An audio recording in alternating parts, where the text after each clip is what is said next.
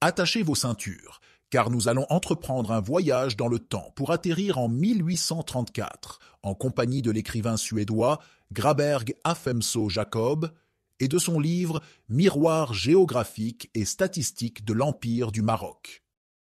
Dans cette œuvre, qu'il a éditée en italien, il décrit en détail l'aspect vestimentaire des Marocains de l'époque. Le vêtement des Marocains est pittoresque et gracieux.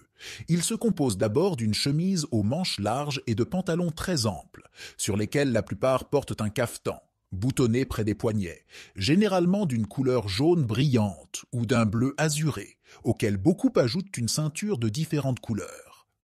Par-dessus tout cela se déploie de manière élégante le haïk, en laine rougeâtre, en coton ou en soie.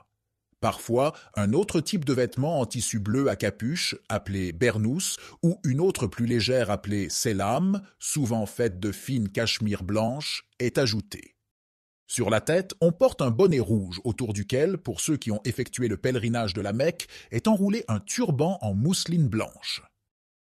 Le haïk est également porté par les femmes, parfois tellement fin qu'il devient presque diaphane mais les plus aisés portent une grande et belle chemise en toile fine, brodée d'or sur le buste, puis un cafetan en tissu épais, généralement en laine, ou en velours brodé d'or.